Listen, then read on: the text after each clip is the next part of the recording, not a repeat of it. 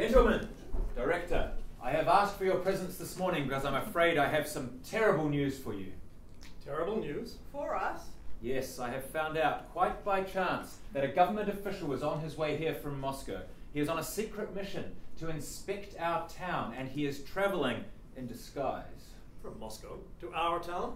On a secret mission? In disguise? Yes, I'm just as worried as you are. Here, let me read you a part of a letter I've had from Tessikov. You all know Tessikov. My dearest friend, to whom we are all so deeply indebted, etc. Uh, here we are. I must warn you that a very important government official has been asked to inspect the whole county, concentrating in particular on our town. I've had this from a completely reliable source. I know what you've been up to, like the rest of us. You've been picking up a few extra mouthfuls wherever you can. Oh well, we're all in this together. I think you ought to do a quick bit of covering up. He may be with you at any minute, if he isn't already. My cousin may. Oh, the rest is, is just personal nonsense. This, this is extraordinary. But why send the government inspectors us? Our modest town is a hundred miles away from Moscow. What do we here matter to them all the way up there? Oh, every town gets inspected from time to time, I imagine. Our turn has come. We're just unlucky. No, no, no. Russia's going to war, that's what it is. They're looking for spies and traitors. We're much too far from the frontier for that. The authorities just want to know what's going on. Never miss a trick, Moscow. They Put us right where they want us. Hush, quiet. The government inspector may be listening even now. And you know what we'll all get if he sends Moscow an unfavourable report on any of us. We'll be sent to Siberia. My gosh, we'll be made to work in those terrible salt mines. 16 hours a day, 7 days a week. And if we stop, even for a minute, We'll be whipped. Heads down, bottoms up. hundred lashes to start with, and more to look forward to the next day. If we don't want this to happen, we must take action immediately. I've already alerted the police, told them to start patrolling the town, make sure that everyone's behaving themselves. If you'll take my advice, you'll smarten up your departments. The workhouse, for instance, and the hospital. Those two institutions are a municipal disgrace. The bedclothes are filthy, the patients are filthier still. Can't you get them cleaned up a little? I'll do the best I can, by the nightcaps, if nothing else. Make it look as if someone actually cares about the poor folk. Put their names above their beds. Names, Get the doctor to tell you what diseases they're suffering from. diseases, Cut down on their drinking. drinking, Cut down on their smoking. smoking. Cut down on the number of patients if you can. If the inspector sees the ward as it is, he'll think the doctor's incompetent. Incompetent? He's a splendid chap. He doesn't speak a word of Russian, but he doesn't go throwing around serious money like our last doctor did. Ah, And our magistrate's court is a, is a pigsty. Geese and chickens running around all over the place, and the smell of it turns my stomach inside out. I'll have them slaughtered straight away. Would you like to have dinner with me tonight? And your magistrate's office is a train wreck. Guns, whips, and pelts lying all over the place from all that hunting you've been doing. Couldn't you get it cleaned away a little, at least until the inspector's gone? And your clerk, he may be a clever fellow, but he stinks of spirits. If he really does smell like that naturally, as you claim, can't you make him uh, eat onions or something until the inspection is over? If the inspector gets a whiff of him as he is, it'll be the salt mines for the lot of us. Alas, he's been like that ever since he was a child. His nurse hit him, he says. He's been smelling like a distillery ever since. Nothing can be done. At least you can do something about the way you run your court. What's wrong with the way I run my court? The little extra mouthfuls you've been picking up, that's what Tessikov calls your little peculiarities in his letter here. My little peculiarities, I like that. Well, I take the odd present from time to time. The odd hound, or two, or three. Who doesn't take presents round here? It's the only way any of us can get anything done.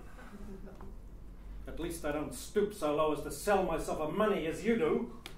Biggest bribe taker in the town you are. Oh, oh. Hush, Known all over the district. quiet, the government inspector. At least I go to church every Sunday, which is more than I can say for the three of you. Our schools, Mr. Superintendent, are no better than our courts.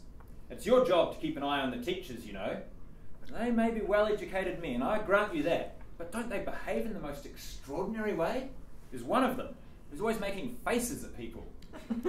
if he makes faces like that when the inspector's here, it'll be Siberia for all of us. Well, what do you want me to do about it? I mean, I had a word to him when the prince came last year. The man pulled the most appalling faces that you ever saw. And I, I was nearly arrested for introducing revolutionary ideas into the syllabus. I can't stand clever men. None of them's quite ordinary, it seems to me. They're all alcoholics, or crazy, or peculiar. Yeah, well, look, I agree, I agree. I can't stand clever men either. You never know what they're going to say next. We could put up with one or two of them, I suppose, but it's this clever fellow from Moscow that's giving me the shivers. Any minute now, he may burst in through that door and say, I've been looking for you, my beauties. Which is the mayor? You're under arrest. Which is the magistrate? Prison for you. Which is the director of social services and the superintendent of schools? Off to Siberia. Ah! Gentlemen, what's this I hear?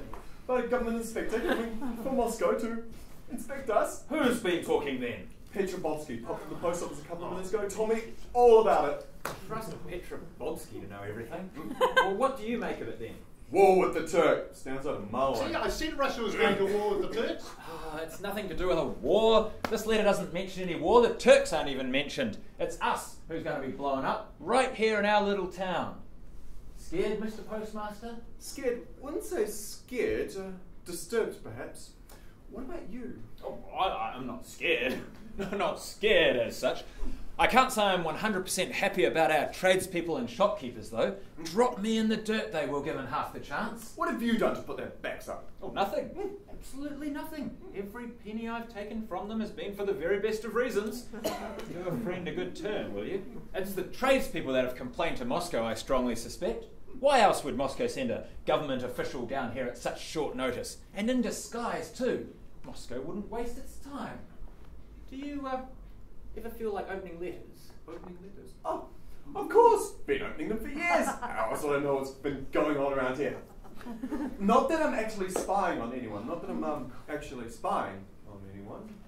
You haven't uh, come across any letters uh, to Moscow with uh, complaints about me? Uh, anything about uh, protection money? Complaints and about you and protection money. Oh, no, can't say I have. Well, what about any letters from Moscow uh, with anything about a, a government inspector coming to investigate, say, uh, corruption? No, I would recognise a letter like that, don't you worry. Been opening some fascinating letters recently, though. Oh, you'd love to read them. This one last week, this army officer, what he's been up to with the ladies. You wouldn't believe the way he describes them. Oh, I'm uh, holding on to that one, you bet I am. Uh, would you um, like a look? Oh, not now. I'm not in the mood. It's the thought of this blasted government inspector from Moscow that's getting me down, and in disguise, too. But, but uh, you won't forget my request, will you? Uh, if you do come across any letters with uh, complaints, accusations, ruminations, censor them. Don't hesitate one second. Trust me, you're a good man. Watch it, it isn't legal. You'll be running, interfering with the Imperial Mail. He won't get into trouble through any of us, though, will he? We're all in this together. Can't get away with those sort of antics for long. Oh, let him censor while there's a, a, a state of emergency. Anything goes in a state what? of. You'll never guess! Fire from heaven, son is that. We were just popping into the pub for a quick one. Yes, I was just popping into the pit, quick, pub for a quick one with Petrodovsky. Let me Your finish, Petrovsky. Don't interrupt. I'll tell the story better than you will, Petrodovsky. Let me give them the news. The news, the news. Well, for pity's sake, stop arguing about it. Sit down and tell us. I will. I'll start from the beginning, and I only got one significant fact, I promise. I left you after you had received that letter from Tessikov, remember? Yes, yes. On my way. On your way, you met me. Oh, please don't interrupt. I say Petrodovsky quite puts me off. Now, where was I? Outside the pub. No, not yet. I went to see the postmaster first to give him the shocking news you had received about the inspector from Moscow. I met Petrodovsky after I came away from the post office. Near the pie and mash shop, I said to Petrodovsky, oh. Have you by any chance heard about the news the mayor has received? She had heard about it, of course, all about it from your housekeeper who was out shopping. For brandy. For brandy. Oh, please don't interrupt, oh. Petrodovsky. So we went to tell one or two people we both know. On the way, Petrodovsky said to me, Let's pop into the pub, she said. I haven't had a bite since breakfast and my tummy is rumbling. They've just had some fresh salmon delivered and I could do with a snack. When we were in the pub, we noticed a young man. A well set up young man, but not an official uniform. A well set up man, not in official uniform, but intelligent, obviously intelligent, Who's that? I said. Who's that good looking stranger? Something told me there was more to him than met the eye. So we called the landlord over. He's just had another baby, by the way. His wife has. His wife had. Oh, point? please don't interrupt, Petrodovsky. Who's that young fellow? We asked the landlord, keeping our voices down. That young man, the landlord replied, he's a civil servant. He lives and works in Moscow. He's on his way to his father's farm in the country. He came here about two weeks ago. He had no money, only a lot of fashionable Moscow style. He hasn't paid for anything, not a single penny. When I heard the landlord say that, I looked at Petrodovsky and winked my eye. Ah ha ha ha. I said ah ha ha first. We both said ah ha ha ha, then we must have said it together. What is that young man doing in our town? He's on his way to his father's farm in the country, is he? Why doesn't that young government official go to the country? Government official? He's the government inspector. You were warned about him in that letter. Oh no, so it is true. Everything points to it. He comes here and he stays. He pays no money while he looks about. Why does he pay nothing? He must be living on a government expense account. You were warned about him in that letter. You should have seen the way he looked at my salmon. He's missing nothing. No. And what room is he staying in? Room number four, over the stables. Where the poor man hanged himself last year. And how long has he been there? More than two weeks. More He arrived on St. Basil's Day. Oh, more than a fortnight. Think of all we've been up to in the last two weeks. The streets haven't been cleaned. The, the prisoners have had no food. We've flogged the sergeant's wife, and the townsfolk have been drunker than ever before. Well, Mr. Mayor, we must introduce ourselves to this inspector from Moscow, must we not? Shall we, two humble folk, go together to meet some man from the capital? No! Uh, n- no, I, I shall go alone. I've been in a few scrapes before, and I've always managed to get out of them, thank goodness. He's uh, quite a young man, you say? Very young, 23, 24 perhaps, no older than that. Excellent. Young men are so much easier to deal with. And now, gentlemen, director, if you will go and get your departments in some kind of order, I will uh, head over to the inn. Uh, Petra, you'll come with me. Uh, we'll show this visitor what sort of a welcome we give to travellers in this town. Chief Constable!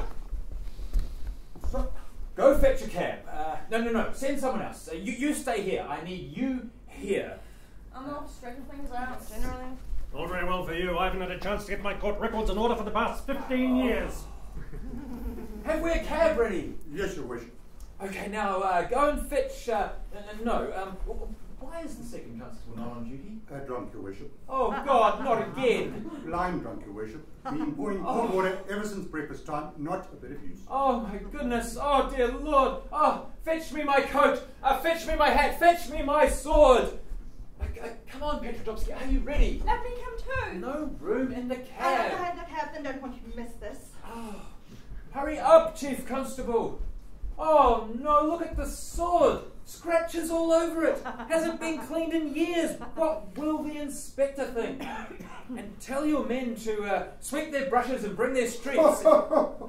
Don't laugh at me, you know what I mean. And get this straight lay off the pilfering when there's a government inspector in town. I know what you've been sticking down your trouser leg when you think no one's looking. I'm not stupid. I have no idea what you're talking about. A man from Moscow's come. Government inspector, I warned you about him. What have you done about it? I've got men out on the streets sweeping, as many as I can spare. It's a big job with months of rubbish. With the second constable blind drunk, third time this week, I ought to have you shot for inefficiency. What are you uh, pulling down? Pulling down. All the best towns are pulling things down. It, it shows they're dynamic. Start pulling some things down immediately. and get this straight. If the inspector asks any of your men if they've got any complaints, they're to say, No complaints, Your Honour. We love our work, we do. If any one of them drops me in it, I'll give them something to complain about, I promise you that. If we get out of this alive, I'll do something really great for our church, too. I promise you that. Uh, come on, Petrodovsky. Your Worship. Oh, yes, I know, I know. And if I catch any of your men half naked in the street like usual, I'll. I'll uh... Where have they all gone? What's happening? Anthony! Darling! Oh, oh, this is all your fault, hanging around, making yourself look attractive. oh, Anthony! Where are you going? He's come already, has he? Who do I mean? The government inspector. Oh, what's he like? Is he tall? Is he good looking? Has he got long whiskers? Bye bye, my little honeybee. Bye bye. Oh, bye bye, my little honeybee indeed. A fat lot that tells us. Oh, this is all your fault. Help me with my necklace, won't you? As if your looks matter. Fussing yourself just because there are men in the house. What makes you think they want to look at you anyway? They make faces when your back is turned. Cool down a bit, Mama. Your curiosity will be satisfied in a mere hour or two. An hour or two? An hour or two? I want to know now! Anthony! Blast, he's out of earshot. You there, push face. Go and run after the mayor's carriage, won't you, and find out what he's like. Who do I mean? The mayor? No, fathead, I know what the mayor's like. He's my husband. The government inspector. The mayor has gone to see the government inspector. Now, peep through the keyhole, anything, then come back and tell me if he's good looking and handsome. Off you go, hurry, run!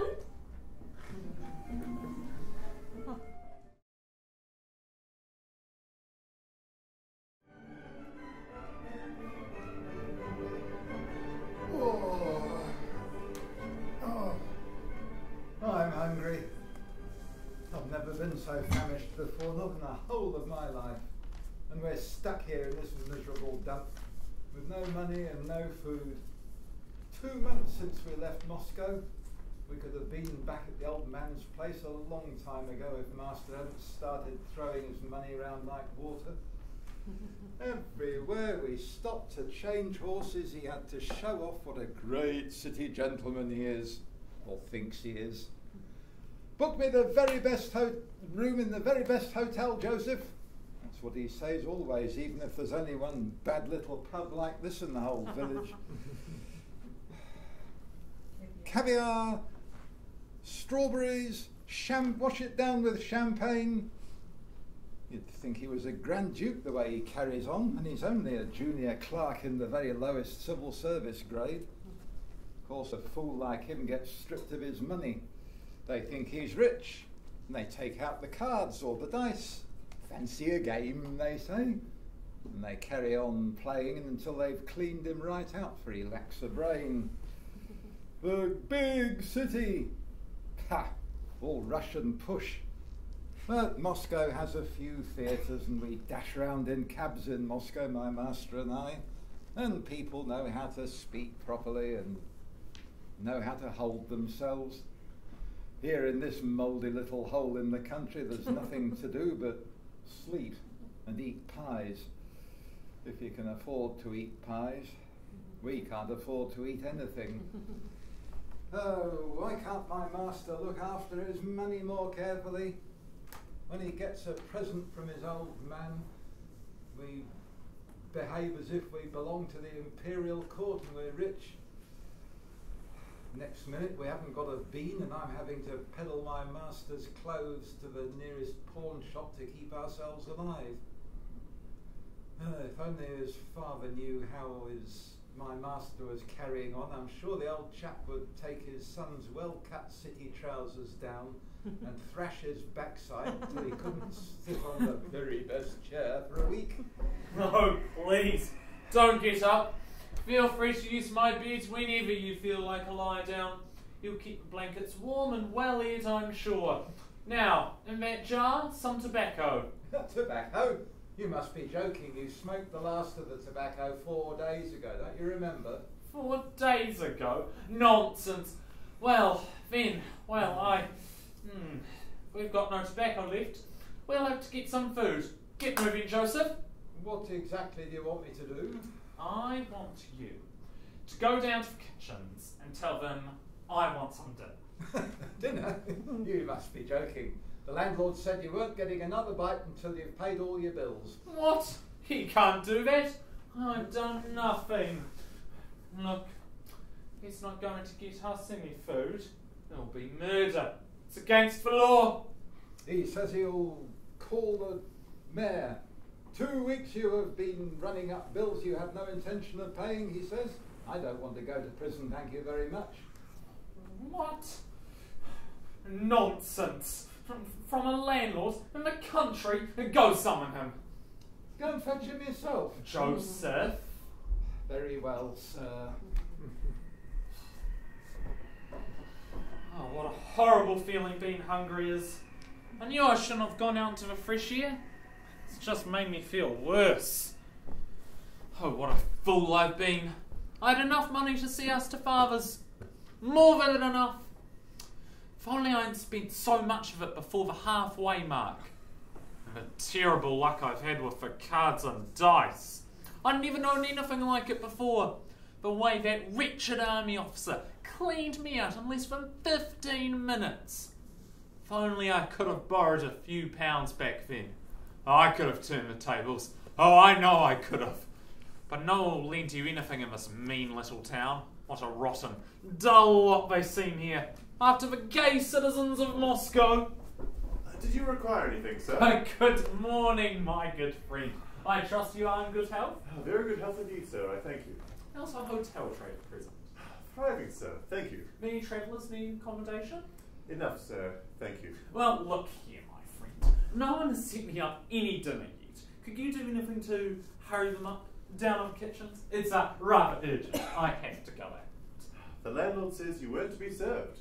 He was going to get the mayor about you. Have you taken away? The mayor? He can't do it. I've done nothing. Look, I need food, or I shall die. Not one bite more until he has paid for what he has had already. That's what the boss said, and it's more than our jobs are worth to go against his orders. Please do your best to persuade him, then, please. I'll see what I can do. I don't think I'll have much luck, but I'll try. Well, if he's not going to get us any food, what am I going to do? Pawn my best city clothes? I'm not going to resort to that. If I can avoid it, if I would never get them back. Just fancy arriving home in some drab suit run up by some cheap country tailor. How the old man would laugh. Ha! How his servants would snigger. Who's that? they would ask, pointing and laughing at Joseph. One of the master's grand Moscow friends? No, that would never do. But how tragic it is to be so hungry. Well, We're going to let you have some dinner. dinner hurrah! Dinner hooray! I thought a little city charm would do the trick. Ah, they've let you have some food, but it's the very last time you'll be served, the landlord says. We'll argue about that later. Now, what have you brought me? Soup and roast chicken. What? Only two courses? More than you thought you'd get. These, they are. Oh, and. Oh, what is this? I don't, I don't know why I've been expected to put up with such treatment. Go tell the landlord I must be properly fed. The landlord was reluctant to give you this much. I had to talk him into it. And no sauce. We have no sauce. I saw the cooks making sauces. I came by the kitchens this morning, and there were two young ladies eating fresh salmon in the dining room. I saw them. Fresh salmons for a better type of customer. Better type of customer. Uh, a better class. The sort who pays. How dare you? I'm not wasting my breath on people like you. And what kind of soup do you call this? Dishwater soup. It's got feathers in it, and straw, and. Hey, you! How awful it smells! Go fetch me some good soup at once. Very well, sir. The landlord said if this soup wasn't to your liking, you didn't need to force it down. Leave it, you fool! This soup is better than no soup. Even if it is the very worst soup in the world. Mm. Uh, there you go, Joseph. I've left a little for you. Go fetch a spoon for yourself. Now, let's look at this chicken. What? You call that a roast chicken? What do you think it is? Looks more like a burnt sparrow to me. Thieves, robbers, taking a man's money for rubbish like this. It's barely edible, and no sauce, and no pudding either. So I way robbery treating travellers this way. The mayor's downstairs. He's asking questions about you. What? The rotten landlord has sent for him already? Take me to prison, will he? I won't go. I won't be arrested. Who is this mayor? What right does he think he has to do this? I suppose he thinks I'm just some ordinary country bumpkin. Doesn't he know that I'm a gentleman and that I've come from Moscow? Oh, I shall resist him to the very last ounce of my strength. The impertinence. May I have the honour of offering you on behalf of all our citizens uh, our warmest civic greetings. Good afternoon. Good I uh, hope you will forgive me for intruding upon you in this manner. But uh, as principal authority of this town, it is part of my job to make sure that travellers are being well looked after. Very important persons, sir, must be given extra special care, as you would know better than any of us. I, I'm not guilty of anything. I'll pay for everything before I go. I swear it. The innkeeper had no right to complain. He sends up chickens and as tough as old boots and soup you wouldn't throw in your garden. Have a tea here tastes as if it's been made in a chamber pot. Uh, may I then- know why we expected to put up with this dreadful place. May I then offer you, uh, on behalf of the town, sir, our deepest regrets? Uh, Not that I had any personal responsibility in the matter, of course, but uh, our market is um, the best in the country, sir. I can swear to that. And our tradespeople are sober and uh, and honest, sir. I can swear to that too. The landlord must have been getting his food from somewhere outside of the town. Uh, but, but, sir, uh, if you're not uh, comfortable here, may I uh, suggest that we have you moved immediately to somewhere where you will be um, much better looked after? Oh, no, no, no, no. You cannot do this to me. I'm a civil servant from Moscow. I'll go to the minister. We're ruined. He's been three weeks in this town already. He knows everything about us. I'll tell him all about this dreadful place. Uh, uh, uh, no, no, sir, um, uh, don't do that, please. Please, dear Lord. Uh, I have a wife, sir, and, and a child. I will never live this down, please. You uh, have a wife and child, you say. To spare them, I need not go.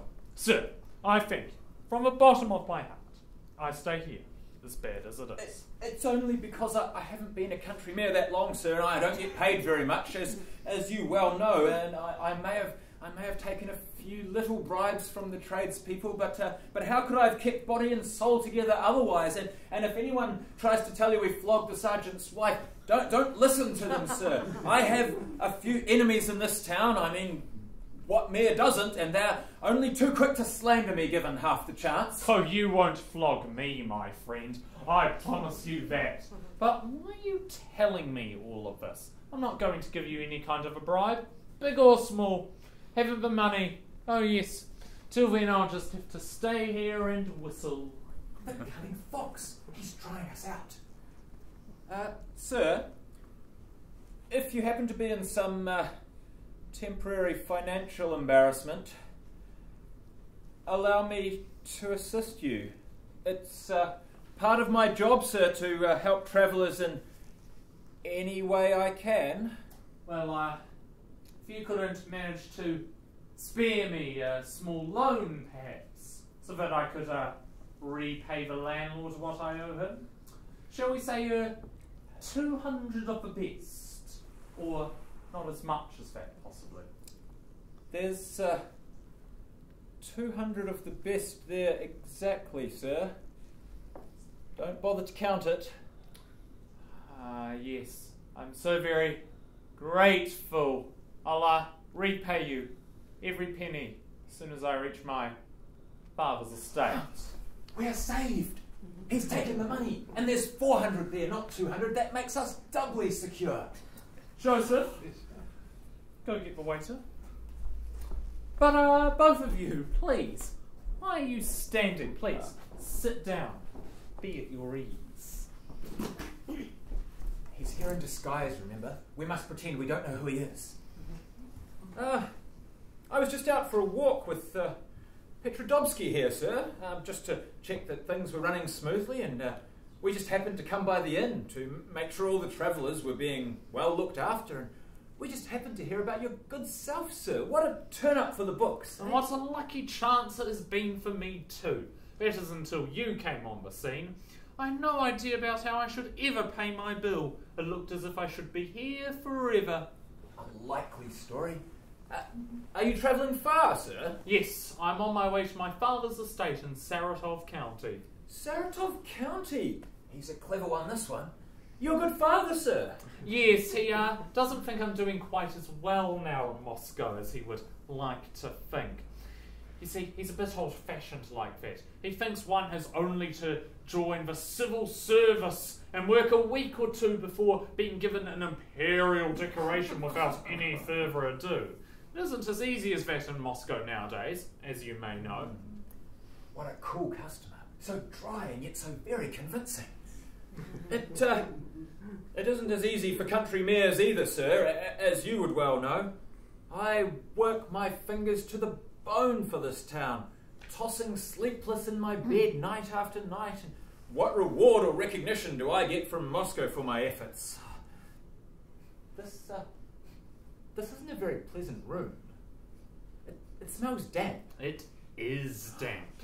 And it's filthy and infested with bugs. Oh, bugs. Mm, hungriest bugs you ever saw. Oh. Strings of them hang down from the ceiling at night. And the room's so dark. It is dark.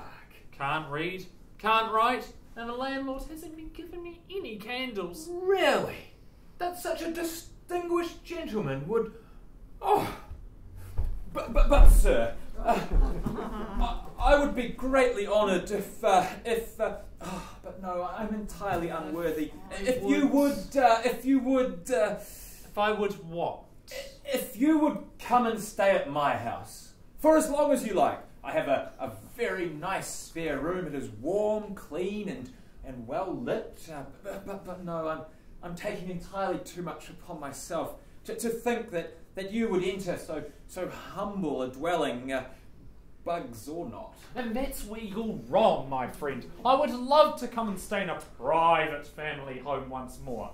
Nothing could be worse than staying in this dreadful inn. Oh, splendid! And and my wife, sir. Oh, she will look after you. She would love to have you come and stay. Oh, how that woman will look after you. And I will repay her kindness, I can assure you, a hundredfold. You wanted your bill, sir, but I gave you your bill this morning. Well, it's probably about somewhere. Can't really be bothered looking for it right now. Um, tell me, to save time, how much do I owe you altogether? Very important persons are not to be plagued by paperwork in this town. Bunk off, you fool. We'll send you the money directly.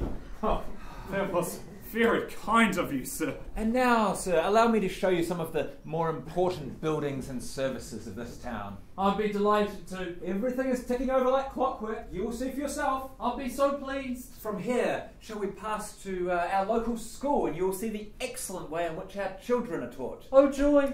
And then uh, to the uh, police station or the magistrates' court where we deal with our naughtier folk.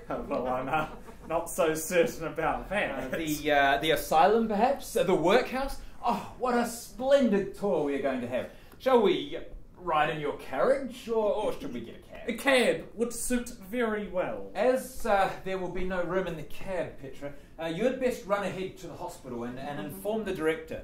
And then uh, take a note to my wife. And, uh, uh, sir, you don't mind if I uh, scribble a note to my good lady, do you? You know how our wives like to be kept abreast of the comings and goings of our very important guests. Ah, yes, we have ink here, but um, no paper. Oh, yes, there's um a bill in my pocket. Use the back of this. Splendid, splendid. Thank you.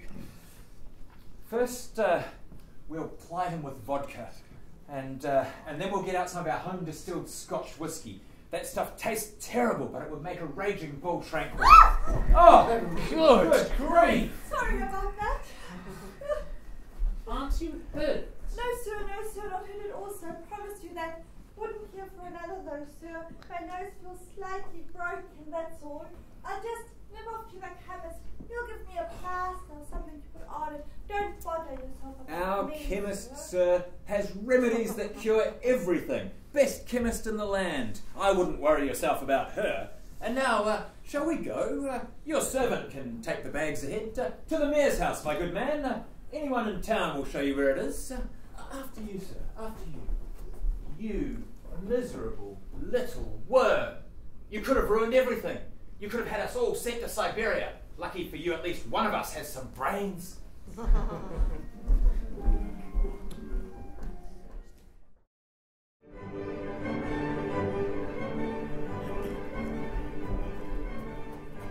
oh, there you are.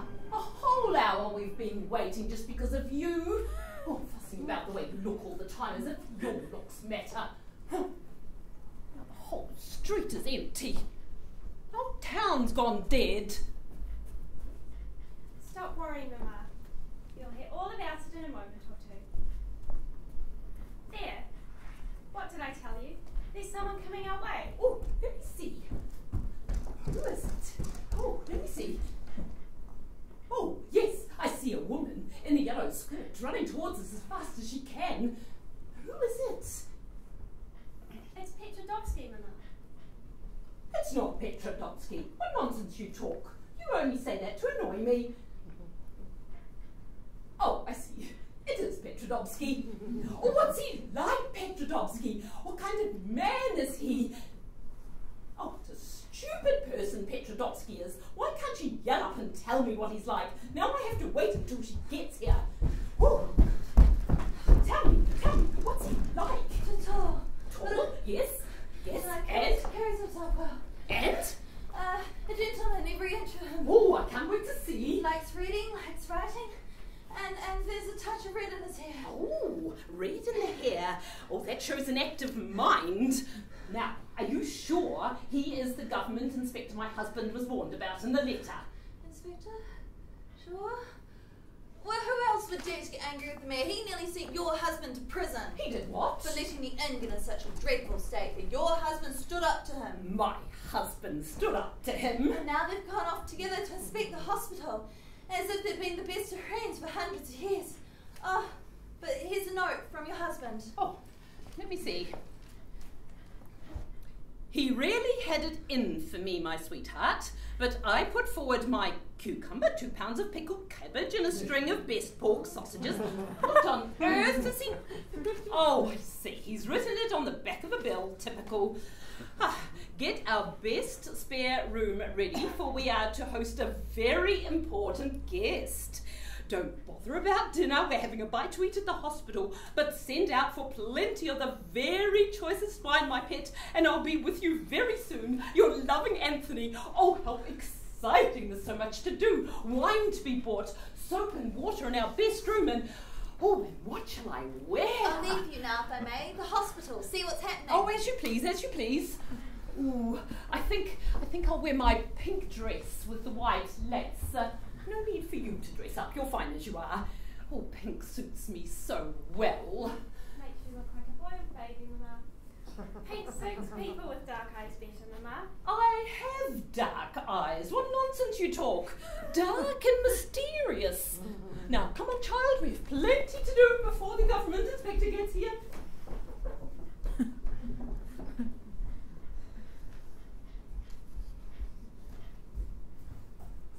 Anyone in? Anyone in this place? Ah. Your Highness, where do you want me to put this? Is it for the general? Uh, no, it's for my master. Isn't your master a general then? He gave up being a general a long time ago. He's much more important now. Oh, that must be why they're all so excited. Yeah, I'll give you a hand. And I would like a bit some food and drink, please. Whatever you've got ready. I'm not fussy as long as there's plenty of it. Oh, good place, that. And damned kind of you to show me round too. First time I've ever been treated like that in the country. Oh, well, we all try to do our jobs properly around here, sir. Not like in some of those other towns where the officials are far too busy lining their own pockets. We're not like that round here. Uh, let me get you some more wine. It was a very delightful meal. Do they serve meals like that at the hospital every day? Well, it may have been just a little better than normal, sir, on account of our very important guest. We uh, were at a hospital, were we not? I uh, did not see many patients. Oh, we don't have many patients, sir. Not in our hospital. It's so well managed. We do have a few sick people come here from time to time, but with our famous no medicine treatment, the poor sick people start feeling better as soon as they arrive. Mine. Ah, of all the work done in this town, sir, mine is surely the most worrying. I am responsible for keeping the town clean, for keeping law and order, for keeping the municipal convicts under lock and key, for keeping, keeping the townsfolk from getting drunk. Uh, pray, have more wine, sir. And, uh, and what do I get for all this worry? Do I get titles? No. Awards? No. Headaches? Yes. Ulcers? Yes. But I know, sir, that I'm doing a damn fine job for my country, and that makes it all worthwhile. Smart pig. I'll get him for this. I too am like that. My hmm. thoughts, my ideals, how can I put them into words? Sometimes I may coin a patriotic jingle. Sometimes I toss off a little poem or What a two. brain the man must have. I wish I could use poems like that. Tell me though, do you spend all your time working hard around here? Don't you ever want to enjoy yourselves? Don't you ever have a game of cards or dice? Here come the leading questions. Cards, sir? Dice? We're all far too busy working in the government service for that. Very relaxing at times cards can be. Oh, oh, he- hello, hello. What's this? What's this?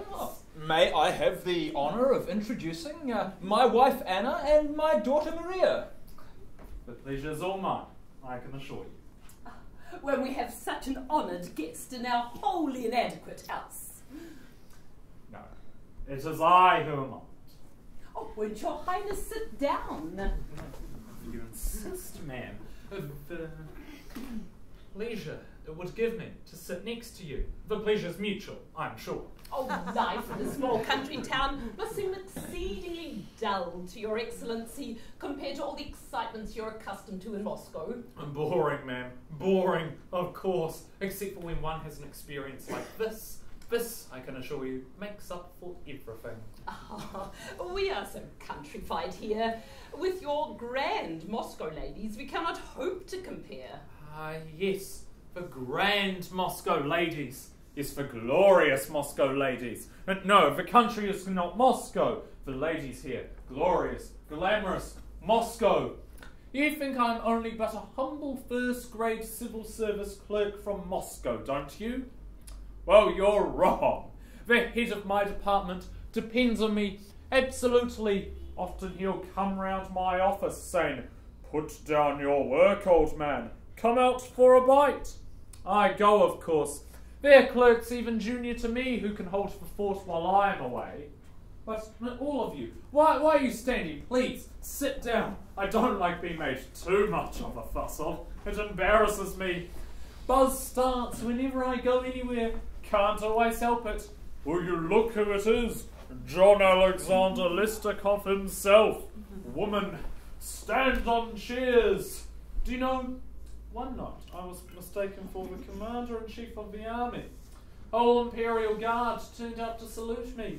Two field marshals in their dressing gowns. Oh, how thrilling for you! In Moscow, we take these things in our stride. Field marshals one minute, famous actresses the next. Oh, actresses! The prettiest, most lovable actresses of them all. I write plays, you see. They all want to know if I have a part for them. Oh, you write plays. It must be so exciting to be famous. I'm too busy writing to enjoy it half the time. Publishers always queuing up for me to write for them. The Marriage of Figaro. Young Mozart did the music for that, you may remember. Fidelio. We used Beethoven for that. The St. Matthew Passion. I could go on and on and on. And the books I've published, they sell by the thousand. Oh, I wish I could read one. Books and plays, they are my life. And my house. You should see my house. It's one of the sights of Moscow. That's where John Alexander Lestakov lives, they tell strangers. I get hardly any privacy. But come round, whenever you are in Moscow, gentlemen. The parties I throw. Fabulous. And my balls. Oh, I wish I could see.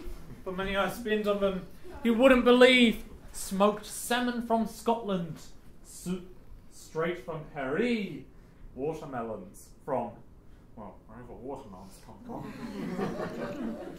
when we're tired of dancing, we make up a table at cards. The Minister of Foreign Affairs, the English Ambassador, the French Ambassador, the American Ambassador, and I. When the ball is over, I walk up to my little room on the fifth floor and I call for my cook. Oh, I say how I like that. Me, John Alexander Lestakov, living on the fifth floor. I live in the staterooms on the first floor, of course. My staircase, gold, worth millions. and my front door carved from ivory, set with rubies, other precious stones. Besieged every morning by princes of the blood royal and cabinet ministers, all begging a few words with me, while I, in my state beard, while I lie in my state beard and and, and in my silk sheets, I, I, I open my letters, fifty thousand letters, all marked Your Excellency. I had a ministry of my own once. Funny how it happened. Minister went away, disappeared, never came back. Nobody ever found out what happened to him. Plenty of people wanted his job too. Tried it, all made a mess of it. They had him with brains. So, hundreds of messengers came rushing to my front door. Come, be our minister, Mr. Lestikov. You are just the man for the post. and am I the right person I wanted? And I nearly turned the job down. But then I thought, no, John Alexander Lestikov, you have your career to think of. What would the Emperor say if he knew that you, John Alexander, had let the royal family down? So I took that job. But now, gentlemen, you had better watch your step. I kept my word. I went through that ministry like an avenging angel. I pulverized them all right. I put the fear of God into them. I put the fear of God right into the Privy Council too. That's the way I'm made. Once I get a job, I see it through, right to the bitter end. I'll clean up this palace. If I see any corrupt corruption going on in here, oh, every day I go to the palace for lunch, making me the prime minister tomorrow. Yo, yo, yo, yo, yo. What do you want? Your ex, your ex, ex. You're drunk, Letty. You're drunk. Your Excellency, your room is ready for you. Warm, clean, and comfortable. Wouldn't you like a little bye byes? Bye byes? Nonsense! Why would I want to go bye bye? Oh, alright. I could go bye byes. Oh, splendid lunch, gentlemen. Splendid. Top marks for the lunch. Splendid.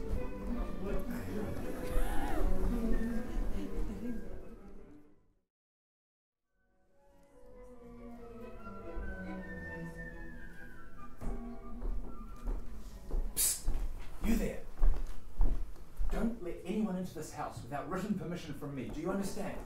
We'll have all the worst rogues in town coming around with complaints against us if we don't watch out. Anthony, why aren't you dressed yet?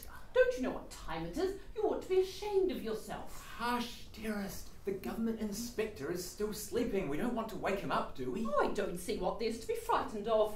I find him charming, quite charming. I think he's attractive too. Oh, so elegant and courteous. We warmed to each other at once.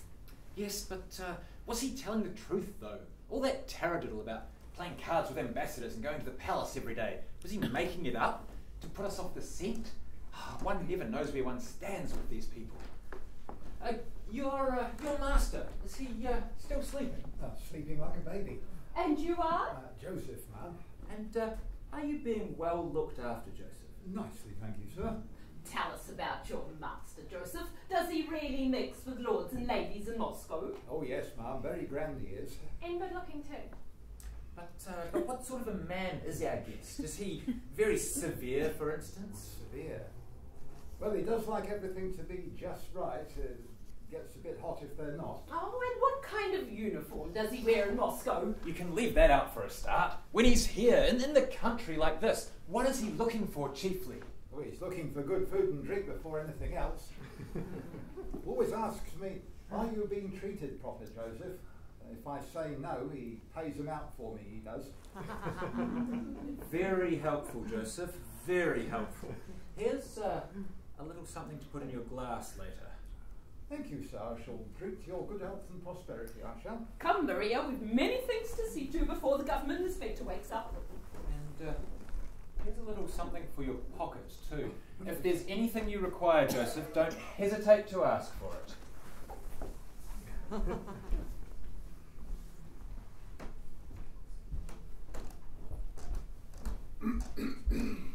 oh, gentlemen, you're early. We have come to pay our respects to the government inspector from Moscow. Is he up yet? Oh, government inspector appears to be waking up. Uh, I must go and get dressed, uh, gentlemen. Director, look after the place, will you? And make sure your departments are cleaned up and ready for inspection. Right, better form a straight line. Tallest on the right, shortest on the left. Bobsky, you on one end, Bobsky on the other.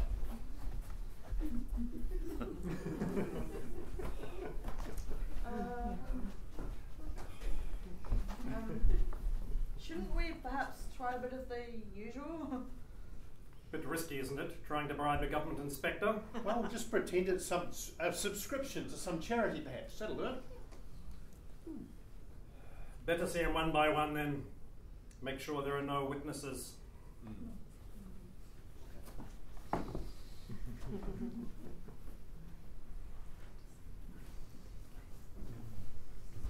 Oh, Joseph, my head, my head. I haven't had such a hangover in years. That wine we had last night must have had a real punch. Do you know? I think I'm starting to enjoy myself here. Oh, they're certainly looking after us all right for some reason. Can't see why. They haven't met any important people from Moscow before. That's why they've been so kind. I like the daughter. She's a poppet.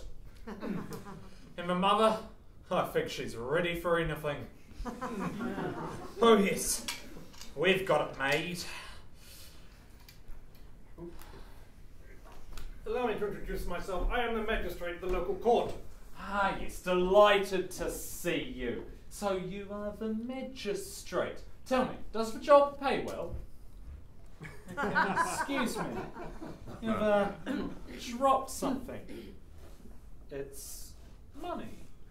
No, no, no, no it's not money. Oh, yes, it is. No, no, it's not money. Yes, yes, it is.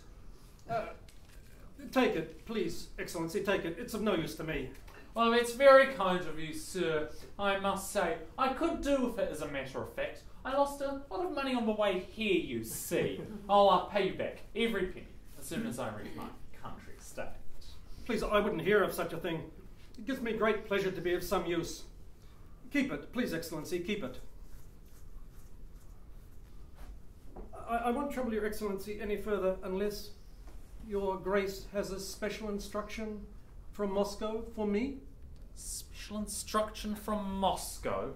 No, no, I can't think of any special instructions. Oh, that's all right then.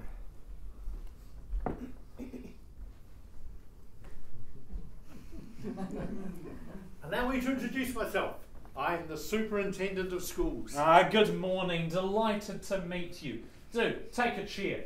So you are the superintendent, you say? Yes. Well, will you have a cigar then?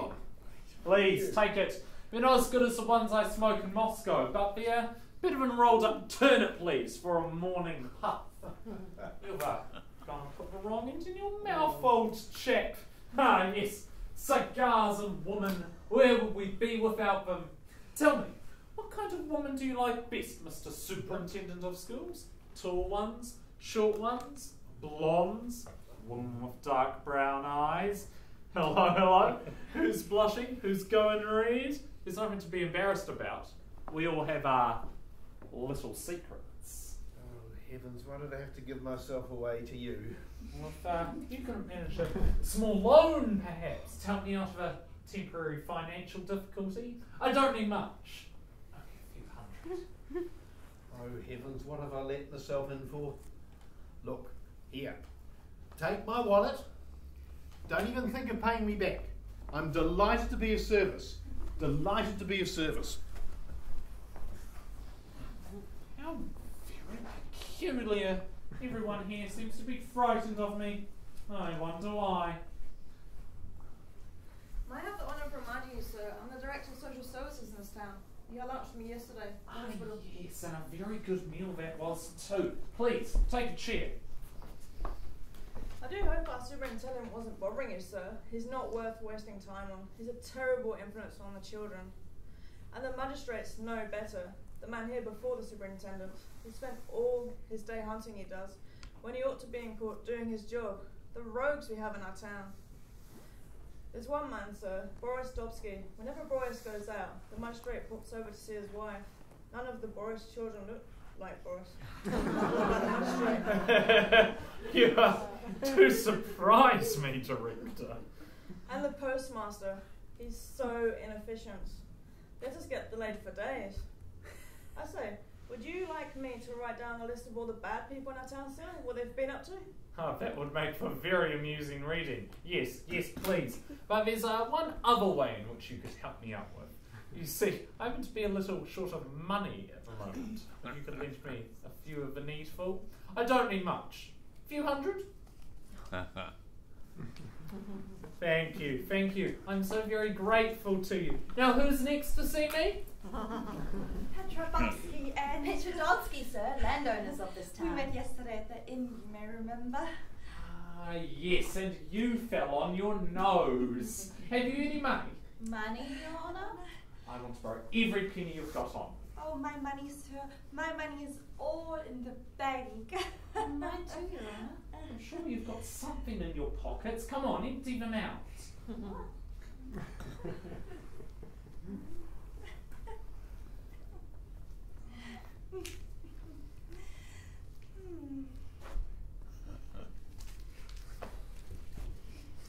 Now, what do you want to see me about? Sensitive little matter concerning my eldest son, sir. Sensitive little chap, spitting image of his father. But, well, to put it in a nutshell, his father and I, we, we weren't exactly in a manner of speaking. We weren't exactly married when our eldest son was born. If you could do anything, sir, to put it right in Moscow. And, and your worries? Oh, I have no worries, sir. I just have one teeny, tiny request to make. and what is that? When you're with the royal family in the palace in Moscow, sir, please mention my name occasionally. Um, he was a fine fellow I met when I was on tour in the country, sir. Please tell them her name is Petra Bobsky. She's a splendid person. Can you remember that, shall You have very only to ask, and your wishes are granted. Thank you, sir. And our apologies for having intruded upon you. What a funny crowd they are here. They all seem to think that I am someone quite high up in the government or something. what a joke. All right, to Titisky about it. He has a great sense of fun. Joseph, go get me a pen, some paper, and ink. Joseph. It's uh, brought in some money though. Thousands, I reckon. They wouldn't have handed all of us over if they hadn't been nearly scared out of their wits. Ah, thank you, Joseph. We've had a good morning. No? We've been here long enough, if you ask me. Time we moved on. Move on? Nonsense. Never been better placed in the whole of my life. Move on tomorrow, perhaps. Tomorrow may be too late. They think you're somebody else. Haven't you got the common sense to see that? Dear Tedeschi, I've been having a right old time, having arrived here without any money, after being cleaned out in 15 minutes by an army officer who was cheating. Let's move on, I say. The luck's still going with us. Let's hire the fastest horses and the best carriage we can find. Get back to your old man's place. Once this lot find out they've been conned. And all of the townspeople have been shoving money into my pockets as hard as they can. The mayor here, he's as thick as a plank.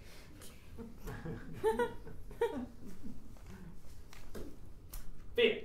Send this to Titiski. Don't pay anything. Tell them it goes free on government service. I've uh, forgotten Titiski's address though. He flits about so often when he can't pay the rent. Don't worry, he'll find him. Just address it to Post Office Street in Moscow. You can't see him, clear off. Let me in. I have the right to see him. It's agent. If you don't take yourself off, you'll find yourself in the prison. What is the matter over there, Joseph? The shopkeeper wants to talk to you or something. The constable's keeping her away. What is the problem, my friends? My lord, I have a petition for you. This man will not allow me to present it to you. Go tell the constable to let one of them in. Let one of them in. We look to you for, for protection, my lord. We, the tradespeople of this town, look to you for protection. Protection? From whom? From the mayor, my lord. He's bleeding us white. He comes into our shops and takes anything he fancies. He doesn't even dream of paying. We give him the best present at Christmas, like any other mayor expects. But this particular mayor is not happy with it. And you know, he comes into our shops and orders the best wine, the best food, and the most expensive clothes. Send them over to my house. It's my birthday. And you know what? It's a waste of time sending him a bill. You'll never pay for it. Oh, the man's a rogue. And if we complain, he billows soldiers upon us, and you know how much soldiers eat. I'm not supposed to have you whipped or tortured. I'm not supposed to do that. But you know what he does? He sends us into prison where he feeds us with dry, rotten fish until we're almost dying of thirst. Villain. If you do something about him, sir, we, the tradespeople of this town, you are only hope.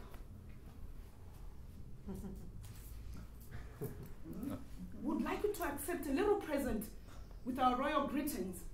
Well, um, that's very kind of you, but uh, I'm not allowed to accept bribes. Ah. There's uh, nothing in the rule book about accepting loans, though. If you could lend me some money. Oh, oh, oh, oh, that's not a problem. I'll go around with a hat to all shopkeepers. I know they'll be happy to chip in every little bit they have. I won't miss out anyone. I promise you. Everybody, I won't miss out anyone.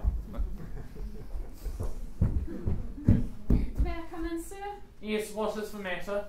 It's the mayor, sir. Curse his boots and his father's boots and his grandfather's boots and his great grandfather's again? What has he taken off of you this time? I'll tell you, sir. He's had me whipped and all over nothing, sir. There's a bit of a fight in the marketplace. The police was hours getting there, as usual. And then they took up the wrong person.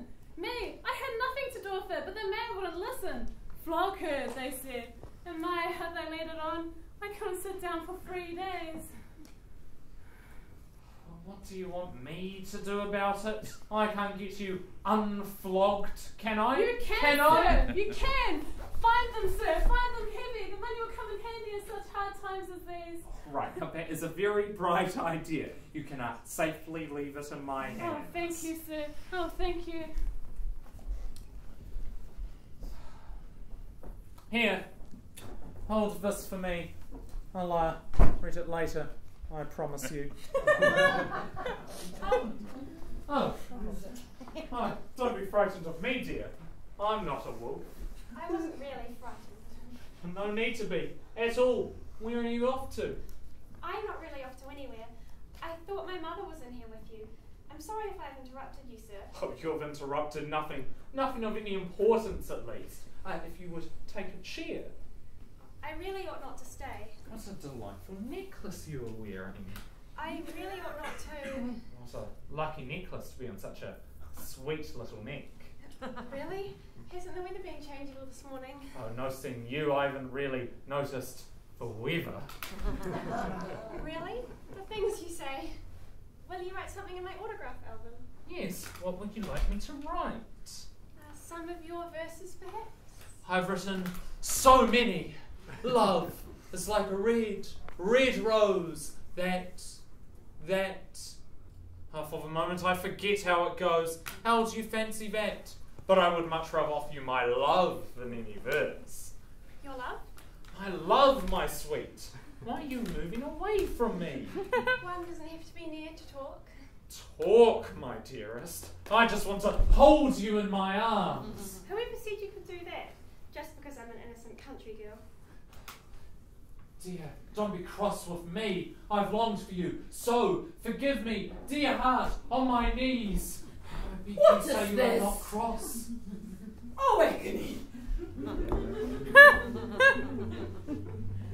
what have I done to deserve this? Mama, do not think badly of me. Go to your room at once, you abandoned thing, and stay there until I send for you. She's stunning, madame. I'm dizzy with love. That is why I forget myself. How, in the presence of such beauty, can a normal man control his ardour? Oh, please, sir, get off your knees. That you, a gentleman like you, shouldn't kneel on our dusty floor. No! Here on this dirty, dusty floor, I beg and beseech you. Am I to be the happiest man in the world, or am I to die in the agonies of hell? Uh, What, what, what do you mean? Do you mean you want to marry my daughter? No, it is you that I want. With you by my side, walk in the clouds. Marry me, I beg you. Marry me. But I happen to be married already. Well, that need not stop you. What is a mere ceremony when love is involved? Let us fly away together to some quiet country estate, uh, my uh. father's perhaps. There, quite away from the world, we can gaze into each other's eyes and. And? And what fun, my darling, we shall have! Oh, oh what's wrong with you? Stop acting like a child. Grow up, won't you? But Mama, Now's no time for crying, my sweetest. Now's the time for joy, for celebration. Give us your blessing, mother dear. Do you mean you want her? I die if I do not have her. Do you want me to live or die?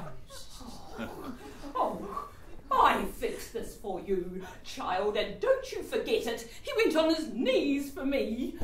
Your Highness! Your Highness! Spare me, Your Highness! Spare you? From what? The tradespeople, Your Highness. The complaints against me, it's lies, all lies. They're cheats and rogues. And the sergeant's wife, we never flogged her. She flogged herself. It's all lies. Uh, uh, Anthony, His Highness, has got other things on his mind at the moment.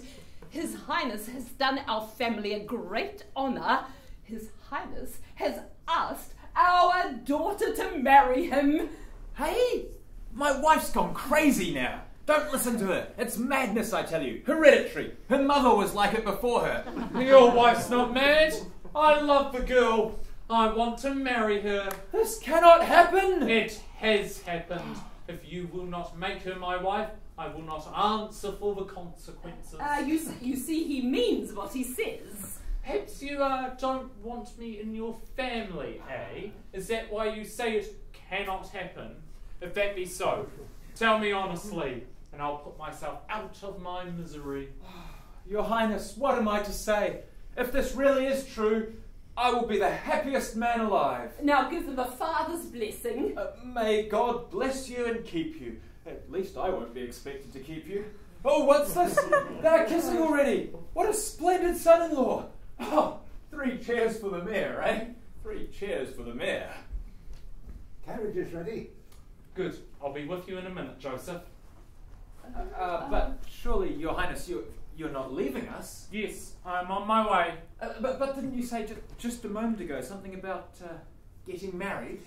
Getting married? No, I don't. Oh yes, getting married.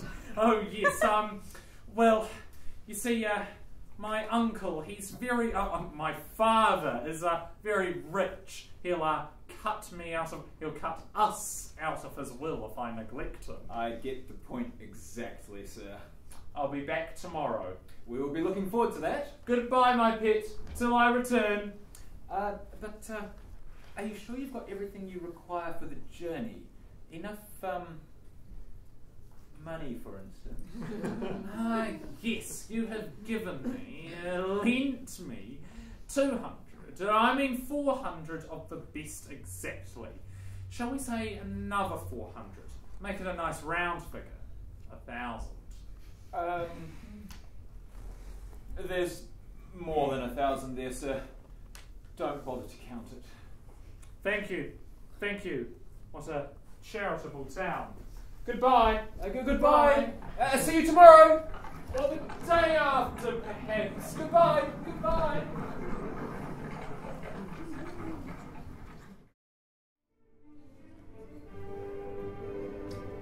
It's like a dream, my dearest. I keep thinking that I'm going to wake up. One minute, I am the mayor and you're the mayoress of a quiet country town, and the next, we have in our family one of the grandest and most important men in the land. You may be surprised, but I've always known we were above the rest around here. Clods and bumpkins. Now you're just finding out how right I've been. A cut above the rest. By golly, you are right. We are a cut above the rest. And the rest will see it now. We'll show 'em. We'll show 'em. Uh, you there, constable on duty. Come in here a minute. Uh, complain about me indeed. How did they have the nerve? I'll rub their nasty little faces in the dirt. Um, I want a list made uh, of all the jumped up little tradespeople that have anything to do with, uh, with a complaint to the government inspector about me. Uh, uh, we'll show them. They won't have a square inch of skin left on their backs once we're finished with them. We'll use the ropes with knots in them, related by marriage to the grandest in the land. And you better warn anyone else who might feel like trying it on, what they bring upon themselves. And, uh, and get the church bells ringing too. This town has something to celebrate. By golly, it does. Well, what are you waiting for? We'll show 'em. We'll show 'em. You won't want to spend much time around here with trash like this once we move to Moscow, will you, my dearest? Will this be our country home? Could you bear it? well, you won't want to carry on being mayor here. A mayor? A mayor country mayor? Here? The very idea. When I shall have all the grand Moscow jobs to choose from. Oh, with your son having uh, lunch with the emperor every day, the very idea. What are you going to do? A high job in the army, do you think, or uh, the treasury, perhaps? I could be a general, yes, I, I would like that. Uh, or a field marshal, perhaps. The higher you are, the better they treat you, you know. Even a mayor has to stand up in the presence of a field marshal. Imagine that. The mayor of this place having to remain standing while I sit down in comfort. Well, you will have to watch what you say, though, my dear. You come out with some very coarse remarks at times, positively rude. I may have a lively tongue, but a few coarse words never hurt anybody. You get away with it down here because they're just a bunch of ignorant pigs. But in Moscow, with the gentlefolk, it'll be different. But Mama, isn't it I, Maria, who is going to be married? Not you. You? What's this got to do with you? Huh, Your father and I are quite capable of arranging our own affairs without your assistance. But Mama, Hush, child. Your father and I will be living in one of the grandest and prettiest houses in Moscow. You will have nothing to worry about. I will light pine logs in every grate. The smell is so enticing.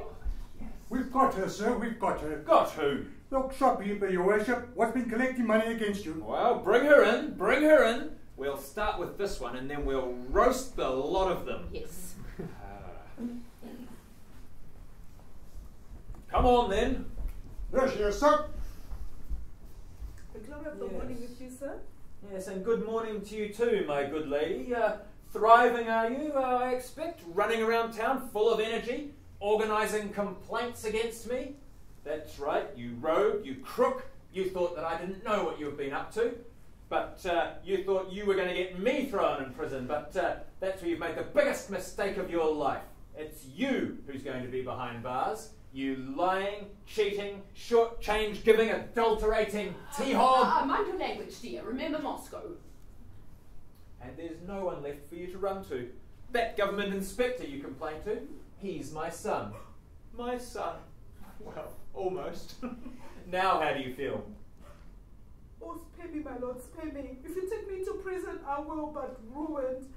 Yes, I will spare you, but only because I am the happiest man alive. Now, get back to your shop and get me a wedding present. I want a really good one too. I don't want no cheap man. piece of. You just heard the news. Is it really true? It's almost unbelievable. Yes, it's, it's true. That's true. About you, Anna. A remarkable achievement. I've come to congratulate you on the great distinction that has been conferred on you. It is a great, great credit to our town. And its First Lady is to shine more brightly than ever. And you, young lady, a kiss. You are such a lucky child to have such an attractive and clever mamma. Congratulations, Your Worship. Congratulations. May I too have the honour? Perhaps we will be invited to visit your son-in-law. Go to the palace even. Have lunch with the Emperor. See his gold plate. My dear Mia, my dear Mia, Yes. my dear Miris, how can I express the joy, the joy that's in my heart? Can you tell us how this happened? It is all so sudden and so exciting. It is exciting, yes. To have so great a man make so great a proposal at uh, first hand, as it were. And he popped the question with such charm and such grace.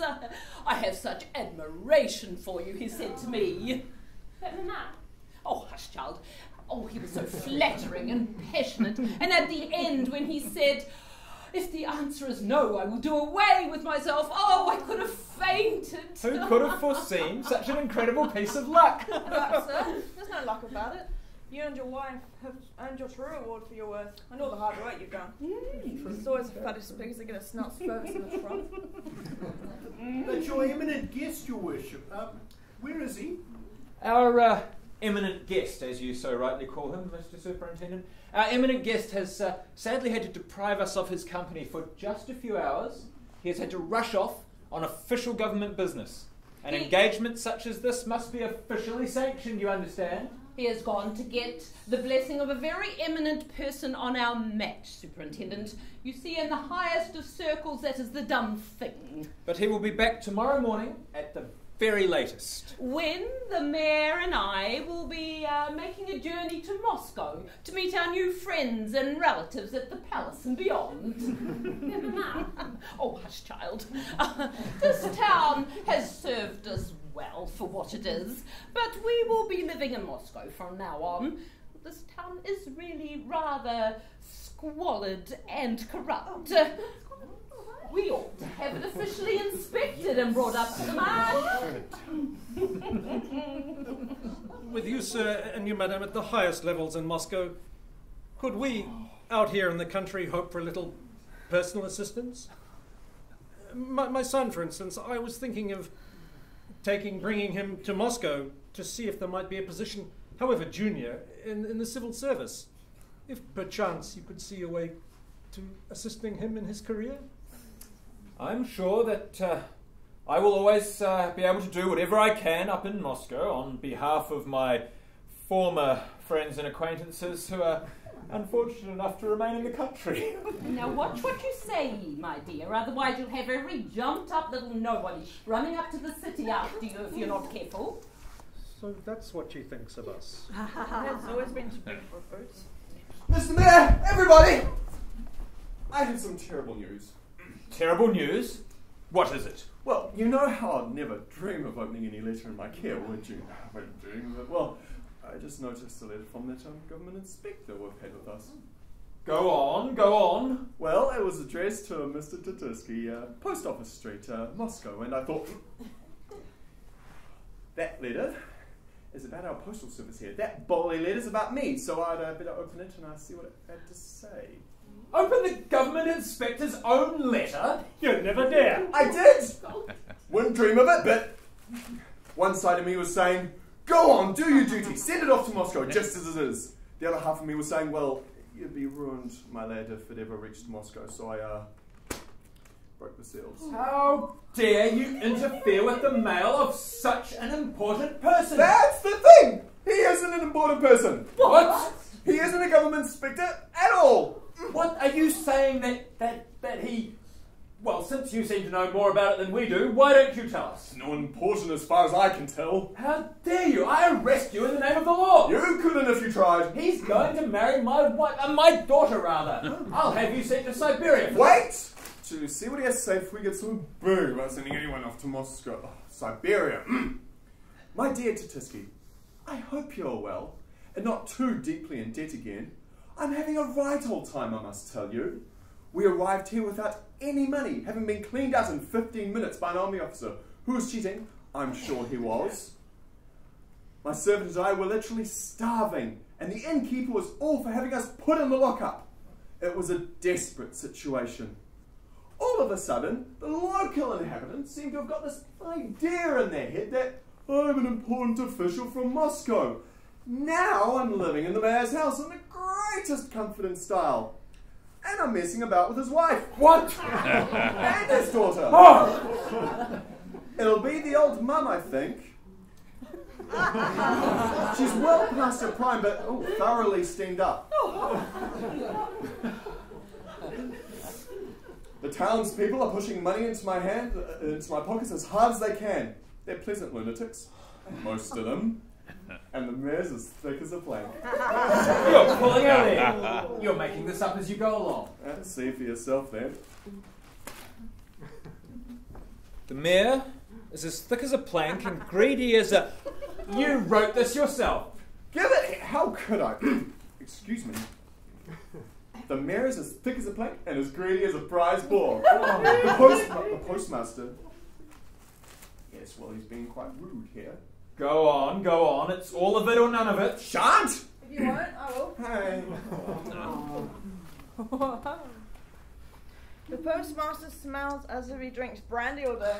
The rogue wants a good hiding. Oh, the director of social services. The next few lines are legible. Oh, no, they're not. Uh, let's see if I can read it, shall I? oh, the director of social services looks like a pig in a skirt. and the superintendent of education. Well, no. Go on. No, no, no, No. no, it's nothing. No. Superintendent of Education smells of garlic. His teeth are as black as the. Oh no, this this is the work of the devil. Oh, get those ruddy church bells stopped at once. The assassin, the murderer. How will we ever live this down? Somebody chase him down and bring him back here. I will tear him limb from limb with my own hands. That's the last we'll ever see of him. I'll vouch for that. And he's got my money too. Not mine. And mine? I gave him all we got. Well, dear friends, we've made fools of ourselves. That's all there is to it. But how could I have been such an idiot? I've been in the civil service for 30 years. I've never been taken in like this before. I always thought I could out trick any rogue. And to think that our daughter wanted to marry him. Marry him? Marry him! Even my own daughter was taken in by his charms. Oh, did you ever see such a lot? What rubbish! And now he'll go back to Moscow and he'll tell everyone all about us. And he won't leave out a thing. And some little snake of an author will hear all about it. And he'll write a play about us. And he won't spare any details. And how the world is going to laugh at us until the end of time. Well, what are you lot laughing at? You're not so different from the rest of us, you know. Perhaps, perhaps you're laughing at yourselves. Oh, but how did we come to be so taken in? What first put this idea of a government inspector in our heads and had us running round yelling out, Inspector, Inspector? Well, someone saw a letter, if you remember. You called us in here to hear about it. Uh, but, but I never said anyone at the inn was a government inspector, did I? Then who did? Who did? Who did? Who was Don't blame me, please. Don't blame me. Don't blame me either. I only thought. And then these two little know nothings came running in from the inn. The inspector's arrived, they said. He's at the inn. He doesn't have to pay for anything, it said. It must be him. I remember it clearly. Just what you'd expect. It was all started by the town's two biggest mischief makers. Well, I think they deserve a damn good hiding. Constable! Your worship! Your worship! His Excellency the Inspector General, appointed by orders of His Imperial Majesty, has arrived at this town from Moscow. His Excellency is in temporary residence at the inn. His Excellency intends to start his investigations into the affairs of his town without delay. You are to present yourselves to His Excellency at once. Oh, I've heard this before. Charge!